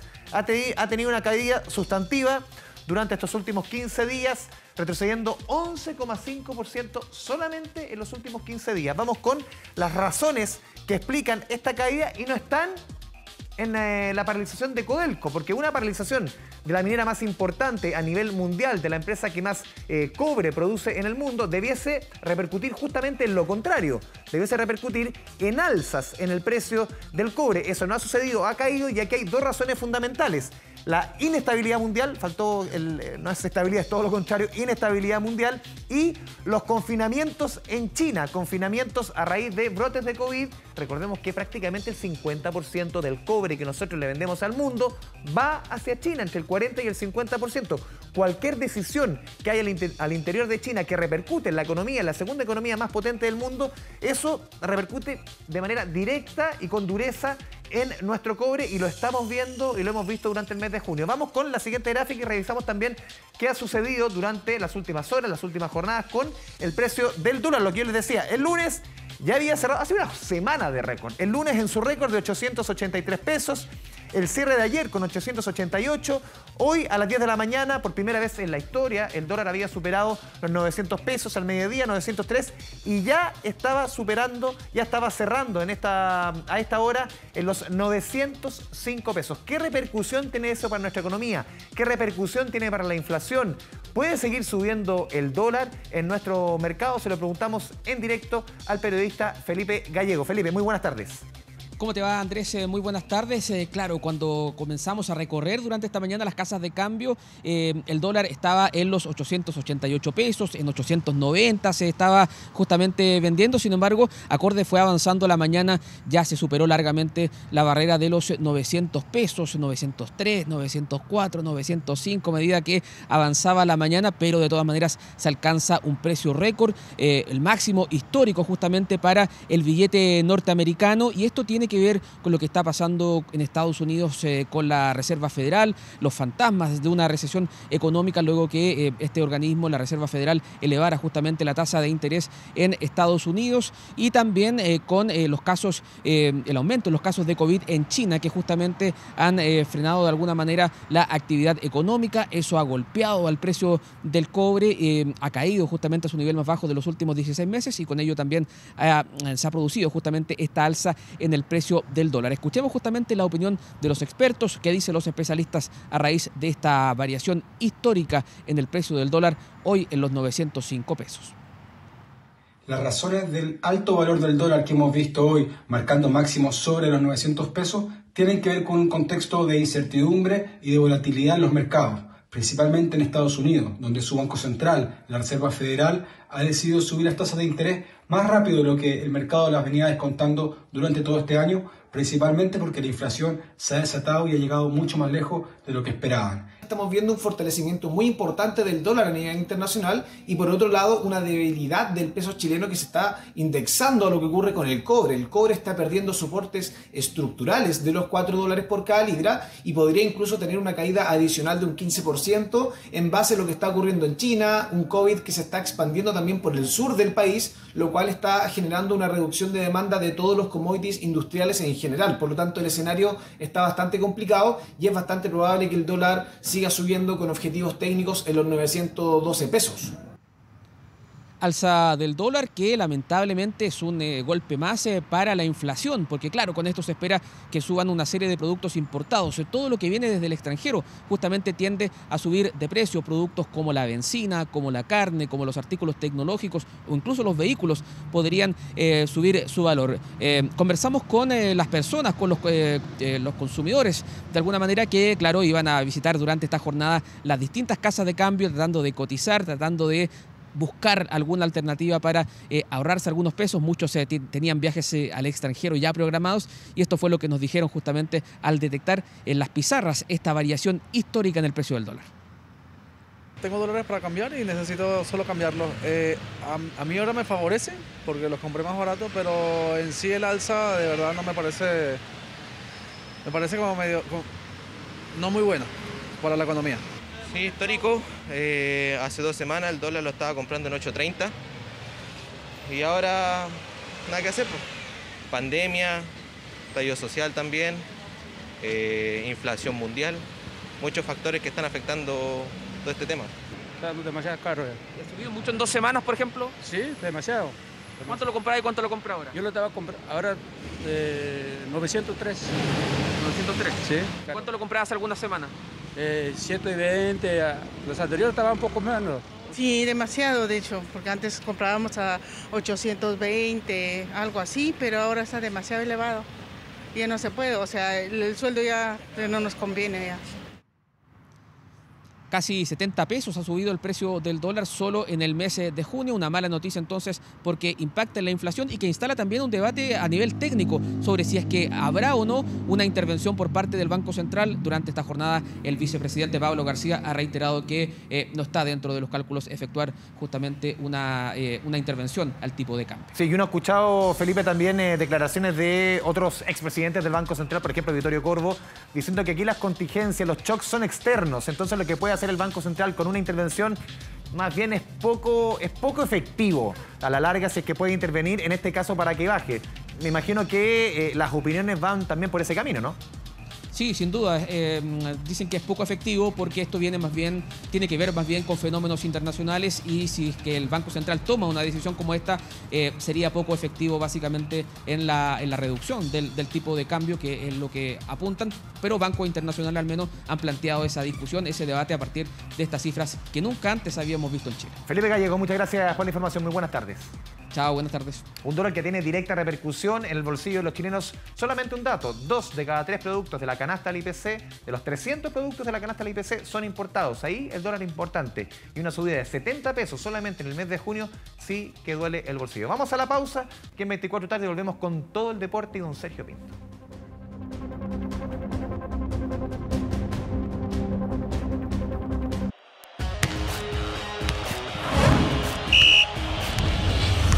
24 horas deportes.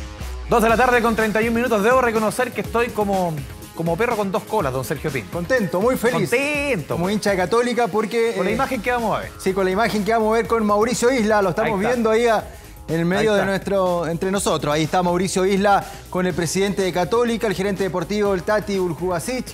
Con la 22 va a jugar el Guaso Isla, va a hacer su estreno, su debut en el fútbol nacional, va a debutar, en buenas palabras, a sus 34 años, porque él se fue muy joven, no, no alcanzó a debutar justamente con esta camiseta donde hizo inferior, estuvo muchísimos años en la cantera cruzada, se fue a Udinese, pasó por la Juventus, estuvo en el Queen's Park Rangers, estuvo en el Olympique de Marsella de Francia, estuvo en el Fenerbahce de Turquía, recaló en el Flamengo en Brasil y ahora viene a Católica. Una respetable carrera. Por no decir brillante, para un jugador que no es delantero, que pues, generalmente las lo hacen allá los delanteros, los volantes, los que hacen goles. ¿Tú te acuerdas en la selección de Canadá? Él jugaba de volante, volante con tensión, salía, era como un 8, era, era una, con llegada. El gol con Nigeria, un gol para recordar pero en Italia lo ponen de lateral derecho. Sí. Y ahí se instala y hace su carrera en un puesto que él, por lo menos hasta ese minuto, no jugaba. con Marcelo Bielsa también, en la selección nacional. Eh, ahí cambió su, puesto y cambió su carrera también, porque laterales derecho mm, no es que Chile se destaque por exportar. No, no, y en el mundo también, los laterales tampoco es un. Salvo Brasil, que es un exportador nato de laterales de, de todas las posiciones. De todo.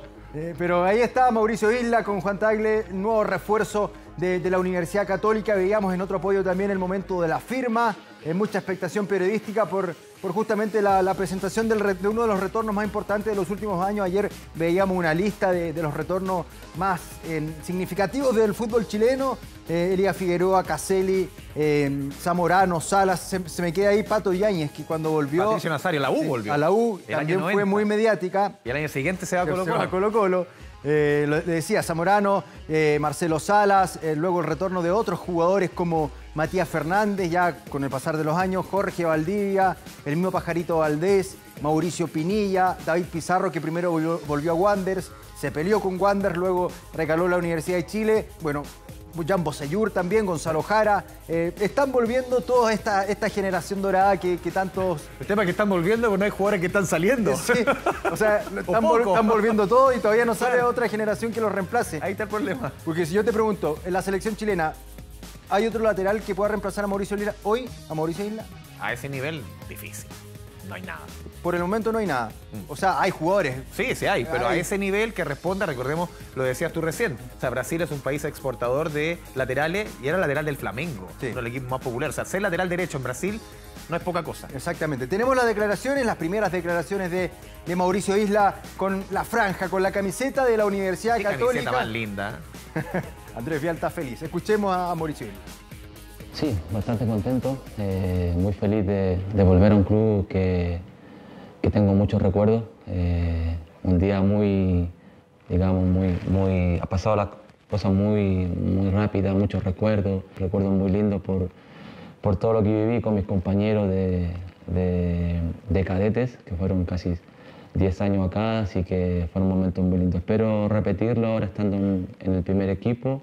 Tengo una sensación muy linda de poder debutar también en el fútbol chileno. Eh, se dio la oportunidad de venir también a- al club que me formó, así que las cosas están saliendo muy bien. Eh, de experiencia creo que voy a hacer siempre lo que, lo que me caracterizaba a mí como futbolista, tratar de, de apoyar a los compañeros 100%. También vengo a aprender de los compañeros. Eh, este club en los últimos años salió campeón y, y para mí también es importante. Voy a, a aportar lo que yo puedo aportar con, con experiencia, con trabajo, con humildad. Ahí están las primeras palabras que le dio al sitio de Cruzados Mauricio Isla. Estas son las imágenes de la mañana fue a entrenar claramente y luego pasadita a las 13 cuando comenzaba este noticiero fue la presentación oficial de El Guaso Isla con la 22. Va a jugar entonces o- otro de la generación dorada que recala en Católica. El primero tal vez, no sé si es del de la misma generación, pero fue importante Fabián Orellana. Exacto. Que con confianza, vaya que rindió la, El histórico, sí. sí, Vaya sí. que rindió, con Paulucci claramente no, las relaciones no eran buenas. Pero bueno, eh, ahí Falta se está reforzando Católica. Gary Medel, ¿no? Que Gary Medel. El próximo año. Sí, yo creo que no. Yo creo que no. Pero es una sensación... El próximo año, digo. ¿Un año más tú crees que no? Yo creo que no. Yo creo que el tema familiar va a ser más fuerte. ¿Se va a quedar allá? Sí. ¿Que se retira allá? Sí, yo creo. Puede ser. Tiene, tiene contrato con, con el Bolonia. ¿Un año más? Sí. Pero él, Vamos a ver. él, yo creo que si fuera por él solo, se viene a Católica. Vamos a ver. Pero tiene nueva familia. Vamos a Colo Colo porque esta tarde A ver. juega el cacique 18 horas. Ahí están las imágenes que nos enviaron nuestros compañeros de eh, la red de Araucanía. Ahí está eh, Colo Colo justamente llegando a, a Temuco para enfrentar al cuadro local. Buscará la clasificación a la siguiente ronda de la Copa Chile. El equipo de Gustavo Quinteros, técnico que se sigue quejando por la falta de, de- de refuerzos. Parece que cerraron un argentino, ¿no? Sí. Agustín Bouzat. Sí, Agustín, se me había olvidado el apellido, pero tenía, Bouzat. era Agustín Bouzat de Sí. Vélez Arfield. No juega mucho, ¿eh? no ha jugado mucho, pero Mm. con Lucero pasado algo parecido.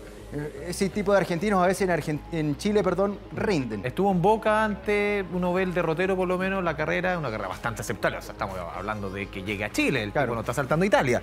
Pero puede ser un referente, puede ser importante para Colo Colo dentro la de banda. posiciones que necesita justamente Quintero. Claro, pensando de que Solari no lo aguanta más de, de fin de año y, y proyectando el próximo año también Colo Colo. Bueno, hoy eh, 0 a 0 fue la ida en un partido bastante discreto de Colo Colo y, y hoy tratará de, de avanzar en esta, en esta Copa Chile. Tenemos justamente declaraciones del técnico de Colo Colo, Gustavo Quintero. Sí, tuvimos una preparación no con todos los jugadores, no fue completa, no fue ideal, pero nos ha servido, fue positiva, nos ha servido para conocer estos chicos nuevos, jóvenes, para darle minutos, para darle roce. Mañana seguramente tendremos los detalles de ese partido y los detalles de esta teleserie que le encanta a Andrés Vial, el día a día de, de Arturo Vidal, que él está, ahora está en Medellín, ¿ah? está de vacaciones, ha pasado En la tierra por de su Chile, novia. claro, ha pasado por el Caribe, por eh, Estados Unidos, ahora por Colombia. Es que ya me imagino viendo un partido de Boca con, con y su próximo Vidal, pasaje. Andrés Vial. ¿Lo comprará a. Río de Janeiro o lo comprará a Buenos Ojalá Aires? que sea Buenos Aires, a la bombonera. Todos el queremos que sea que no Buenos tiembla, Aires. late. Sí, a mí me gustaría muchísimo que Arturo Vidal jugara en Boca. Yo creo que está, como decía Román, está hecho. Arturo Vidal nació para jugar en un equipo como, como Boca Juniors. Pero las últimas informaciones dicen que eh, lo que estaría más cerca sería Flamengo. Sería por, por un tema de... Él, él lo, ha- lo ha dicho, Mm. eh, estoy armando la, la nota para el Noticiero Central y, y he escuchado la, no sé, cinco o seis entrevistas donde ¿Ya? Vidal de verdad dice que le gustaría jugar en Flamengo. eh, se, se habla de dos temporadas. Y si uno coloca en la balanza Flamengo y Boca, no por temas de popularidad, por temas de, de economía, de Flamengo, presupuesto, no. Flamengo tiene muchísimo más que de Boca. Si va a Boca es porque realmente Arturo Vidal quiere ir. Justamente habló el técnico de Boca Juniors, Sebastián Bataglia, refiriéndose a Arturo Vidal. No lo ha llamado, pero claramente le gustaría tener un jugador de la jerarquía como el Rey Arturo en el plantel Ceneice. Escuchemos. No, a ver, obviamente que jugadores de la jerarquía de Vidal le van a hacer bien el fútbol argentino, sin duda, van a jerarquizar también nuestro fútbol. Y a partir de ahí es un jugador que tiene mucha experiencia, que sabemos la clase de jugador que es y, y que puede aportar también mucho a, a nuestro plantel. Pero es, pos- es posible, puntualmente, Vidal, es posible. El otro día se lo preguntamos a Riquelme. A ver, eh, yo no, no, no, no hablo con Vidal, está claro, pero eh, ojalá, ojalá pueda jerarquizar nuestro fútbol y jerarquizar nuestro plantel. Sería eh, muy importante por la clase de jugador que es y, y- y- y esa clase de jugadores que venga a jugar al fútbol argentino le hace muy bien. Oye, más allá del, más allá de si llega o no, el respeto, el otro día tú mencionabas declaraciones de, de Juan Román, o sea, que Román hable así de Vidal, de Benedetto, otro delantero, del mismo Bataglia. O sea, hay un respeto hacia la figura de Vidal. En Argentina lo respetan muchísimo. Sí, sí, sí. Y, y si llega o se llega a concretar esto, el nivel de exigencia que va a tener Vidal es, es altísimo. Lo, lo van a tratar como, como superestrella y, y acá se va a tener que colocar serio, o sea, entrenar muchísimo. Pero él está acostumbrado, sí. Sí, lleva 15 claramente a la presión. Sí, a la presión está acostumbrado, pero Boca, eh, el mundo Boca, Boca, como Boca, dice- Boca Boca. Sí, claro, así que veremos cómo termina esta teleserie. Mira, Andrés, te invito a A ver, eh, estas imágenes que, que son, en realmente son fotografías. ¿Las viste? Esta nadadora estadounidense, Anita Álvarez, se desmayó mientras realizaba un ejercicio, situación que no pasó a mayores gracias a la rápida reacción de su entrenadora, la que vemos ahí, la entrenadora. Este hecho ocurrió mientras se desarrollaba el Mundial de Natación en Desmayo Budapest. debajo del agua, como que por lo menos yo nunca había visto. Yo tampoco. Eh, la entrenadora Andrea Fuentes eh, salvó literalmente a su, a su pupila, a, a la nadadora Álvarez, es de Estados Unidos. Ella entró muy rápido a la piscina para socorrer a, a- esta nadadora. Lo- logró, gracias a Dios, sacar a flote a, a Álvarez y evitar una posible muerte. El motivo del desmayo eh, aún es desconocido. Minutos después, la nadadora logró recuperarse y la competencia siguió su curso, eh, siendo la, la japonesa Yukiko Inui quien logró llevarse la medalla. Esto, el fotoperiodismo, como se le denomina, que un acierto fotográfico. Y, y mira, no, si realmente son escalofriantes eh, los momentos que tiene que haber vivido la entrenadora y también eh, la deportista. Así que, menos mal no, no pasó nada, Andrés. Y por último, Andrés, te quiero que, mira, el otro día lo veíamos en muletas, ¿te acuerdas? Cuando, cuando después de ganar eh, Roland Garros y ahora, ah. lo vemos ahí entrenando. Esta es una exhibición en la antesala de Wimbledon, que le ganó a Sam Van Brinca, el, el suizo. Eh, es Rafael Nadal, claramente uno de los mejores deportistas de la historia, que se está preparando para ganar su Grand Slam número eh, 23. Si llega a ganar Wimbledon en pasto, yo ya no sé qué calificativo darle a, a Rafael Nadal, porque está jugando con muchos dolores. El- el- la arcilla claramente de París, ya, uno ya nos tiene acostumbrado, pero el, el pasto de Wimbledon sería realmente heroico si es que lo llega a, a conseguir. Ha ganado los cuatro Grand Slam. Sí. El otro que, que se está preparando es Djokovic, que ya no es el número uno del mundo, es eh, Medvedev, el ruso. Está número tres, el serbio. Así que la próxima semana comienza Wimbledon. ¿No hay señales de su majestad? No, no, ya no. Ya, ya sabríamos. Que no es oficial. No. Tu retiro, pero Don Roger. Ron Roger. Para mí el mejor. Está ahí bien peleado con Nadal, sí. Pero Don Roger. Ya. Estaremos atentos al partido de Colo Colo esta tarde a las 18 horas. ¿Nos vemos mañana? Sí, por supuesto. Ya pues. Nos vemos. Nos vemos. Chao, chao. Chao,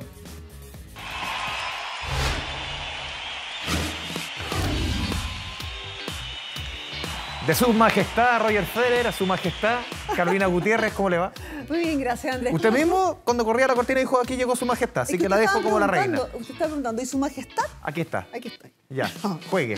Ya, Se vamos quiere a, poco. vamos a- tengo fe, me tengo fe. Está bien, está bien. no, vamos a hablar de música y vamos a hablar de un estreno porque no pasó mucho. Y nos vamos, por favor, señor director, póngale loop a estas imágenes, por favor. Uh, hasta Eh, yo lo pido. ¿ah?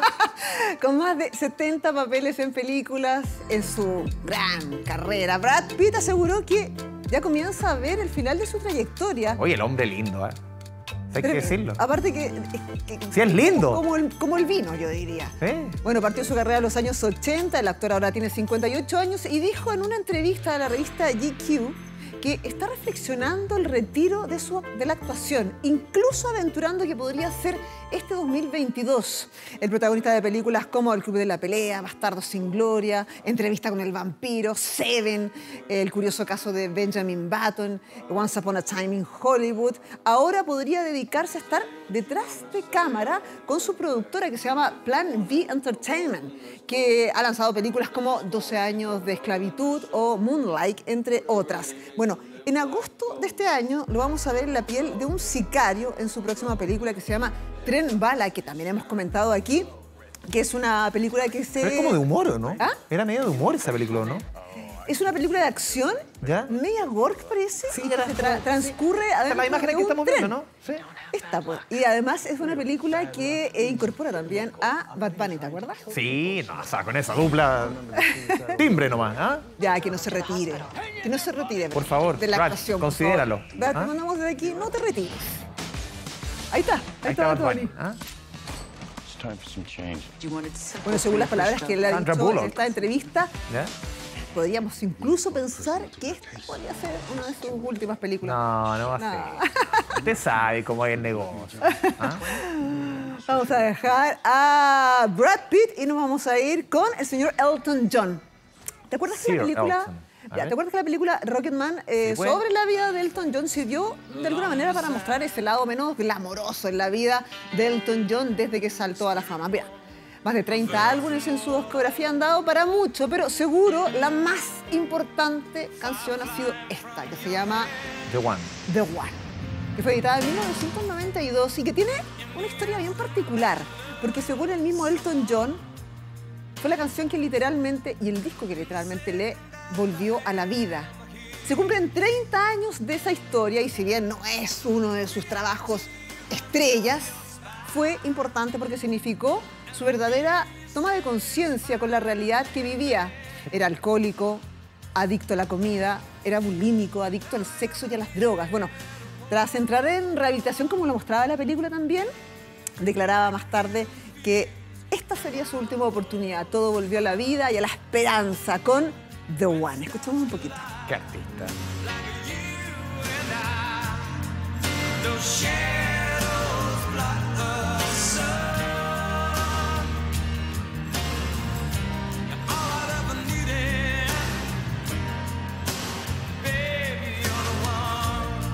Fíjate que Elton John regresó a los escenarios ahora para reanudar su gira que se llama Farewell Yellow Brick Le cantó a distancia a la reina también. Claro, también, que tuvo que interrumpir debido a la pandemia, ya sabemos.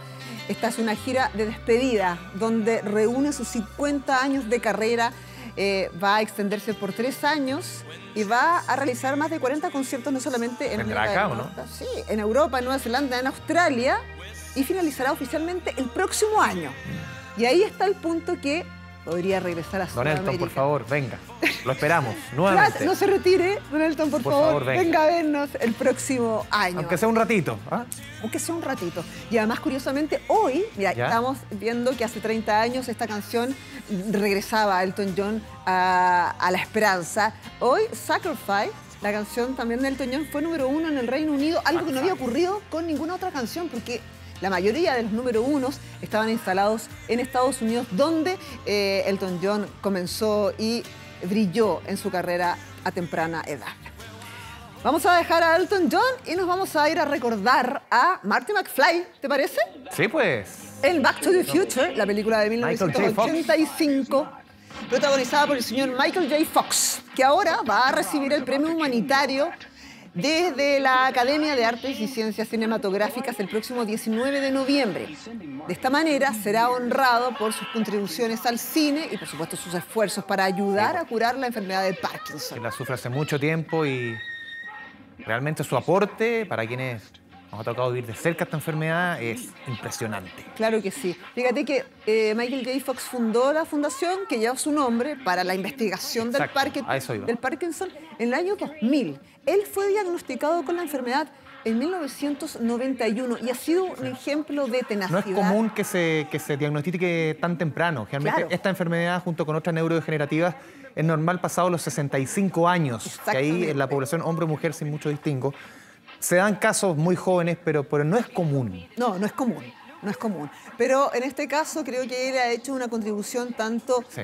dentro de la pantalla como fuera de la pantalla, ha visibilizado su enfermedad, ha luchado para la investigación de esta enfermedad y ha sido un ejemplo también De que se puede seguir, que se puede seguir y que la vida continúa y la vida es preciosa. Y incluso, incluso Michael J. Fox, que ha, ha tenido que interpretar, que ha que- tenido que interpretar algunos papeles en series en el último tiempo, dice, yo, yo sé mis limitaciones, no puedo aprenderme eh, más de cinco páginas de un guion de una, así que tengo que ir con calma y no todo. Porque la, la- la gente lo relaciona mucho esta enfermedad con los movimientos del cuerpo y tiene muchas otras derivadas que afectan la memoria, que afecta el carácter, que afecta tantas situaciones del día a día, pero te enseña él con su ejemplo que, que- que se puede seguir y en buenas condiciones.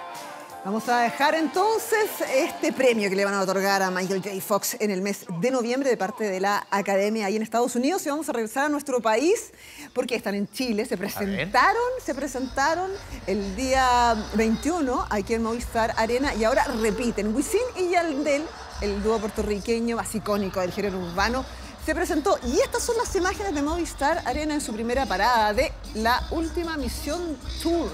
Este tour que continúa este 23 y el 24 de junio ahí en el mismo recinto con una jornada llena de hits que los asistentes, como podíamos ver ahí, corearon eh, y replicaron a coro también. Recordemos que la última misión es el nombre de la nueva producción que saldrá a mediados de este año y que marcará la disolución definitiva de una dupla que en sus más de 14 años como dúo solo han cosechado éxitos. Así es que eh, debido al éxito de ventas, por eso es que se agendaron dos conciertos más de los que estaban programados. Estas son las imágenes de Movistar Arena, hoy día repiten y mañana también. Clásico. ¿ah? Les decimos, que, les decimos que no se separen a los Wisin. ¿Ah? Pero si van a volver solos, si es un clásico. Oiga, ¿la esperamos mañana? Sí, claro que sí. ¿Aquí mismo? Aquí mismo. ¿Hasta, hasta esta misma hora? Hasta misma ¿En este hora. mismo Y por canal? este mismo canal. Ya pues, nos vemos. Gracias, Andrés. Chao, Caro. Chao. 14 horas con 52 minutos, última pausa en 24 tarde. Con Wisin y Yandel nos vamos a la pausa.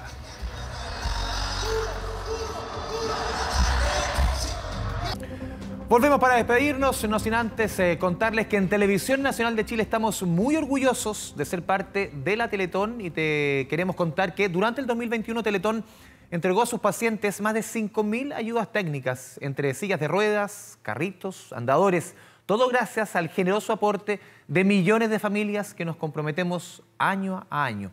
Conoce la cuenta pública de Teletón en el sitio web www.teleton.cl con esta información. Vamos cerrando 24 tarde. Se puede seguir informando a través de la pantalla de Canal 24 Horas o seguir en la compañía de Televisión Nacional de Chile. Muy buenas tardes.